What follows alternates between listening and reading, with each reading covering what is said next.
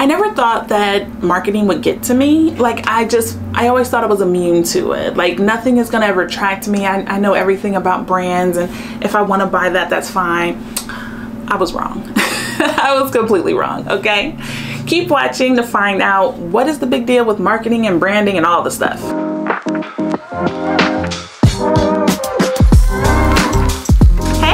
Kyla Denanyoh, and today we are talking all about branding and marketing and icons and logos and just all the stuff, all right? So today we're talking about the book, The Brand Gap. This is called A Whiteboard Overview by Marty Neumeier, okay?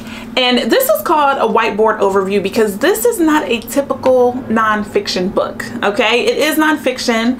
The genre of the book is marketing and management, but the brand gap is all about what brands are not. Specifically, a brand is not a logo, okay?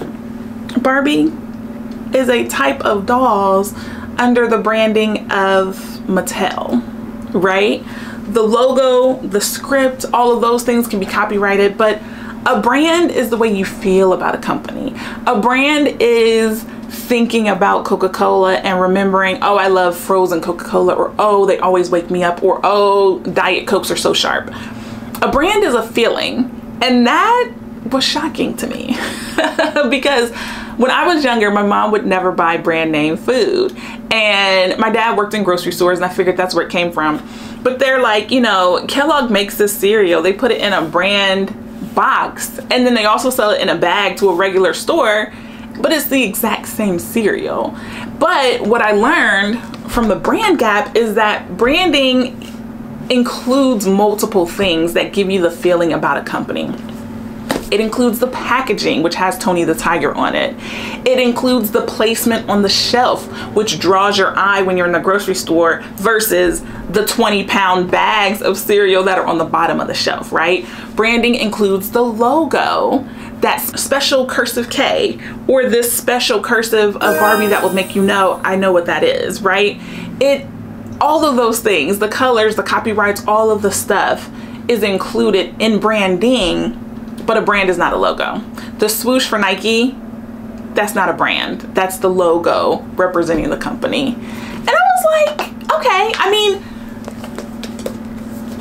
this is a textbook it's very small, but this is a textbook. I was almost like the way that it's written, Marty writes in a really clear way where you're just like, I almost felt like I could go take a quiz after this, or like I could even instruct or train another person via video or via course because this is a textbook. It is a very, I was gonna say no nonsense, but that's not true. It is a simplistic writing style which cuts through all of the BS and all of the fluff and just gets you to where's the gap in branding and how can you find it okay? And the biggest gap in branding when it comes to marketers is that marketing includes or excuse me is that branding includes a whole bunch of stuff. It's not just one thing right? And even the tagline of the book is how to bridge the distance between business strategy and design business strategy is an aspect of marketing design is an aspect of marketing so is a logo so is packaging so is placement on the shelf all of those things, right? And so, for someone who enjoys marketing, for someone who helps other companies with brand visibility, I thought it was quite fascinating to find out a brand is not a logo. And Marty writes about that over and over and over again because I'm sure that's one of the biggest misconceptions he's seen, okay? So take a look at this. I, I would definitely read it again. And this is honestly one of those books that you buy and just have on your shelf. It's almost like a marketing encyclopedia, right? So yeah, I definitely would read this again. I definitely would grab it and just have on the shelf, okay?